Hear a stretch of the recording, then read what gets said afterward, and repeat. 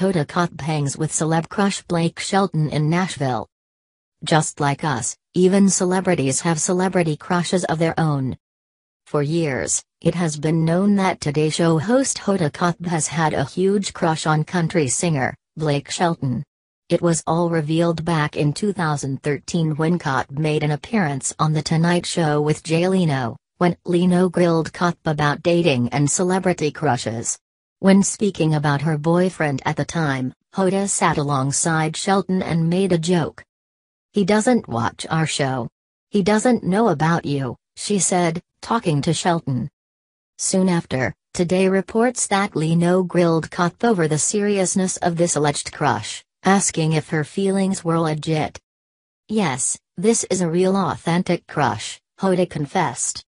And five years later, Hoda is still crushing on Shelton.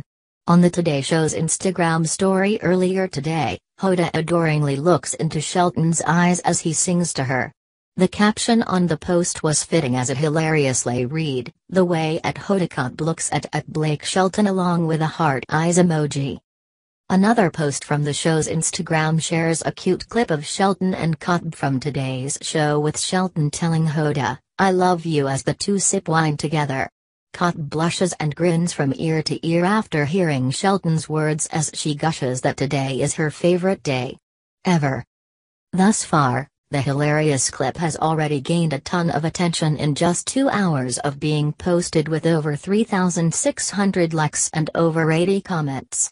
Many fans couldn't get over how funny and sweet Shelton and Kotb's friendship is and they were sure to let the pair know in the comments section. section.